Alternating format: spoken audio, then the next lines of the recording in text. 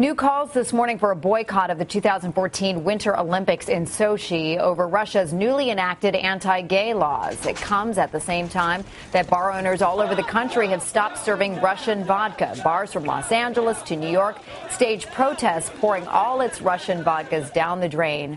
Russia's new law bans the public discussion of gay rights and relationships anywhere children might hear it.